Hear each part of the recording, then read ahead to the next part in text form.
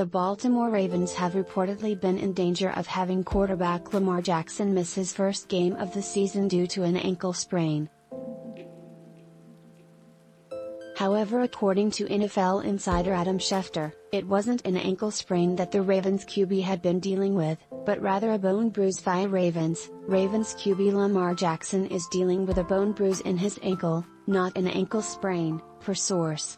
Jackson never has missed an NFL game during his four-year career due to injury, he has missed two due to illness.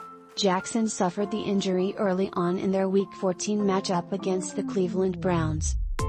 The Ravens star was seen limping on the sidelines and eventually had to be carted off the field, igniting serious concerns among the Baltimore faithful.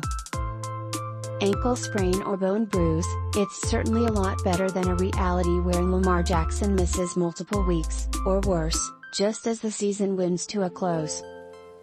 With a monumental matchup against the Green Bay Packers incoming, the Ravens' chase for the top seed in the AFC gets that much harder but with a playoff seed firmly in hand, making sure their QB is back at 100% should be the Ravens' top priority.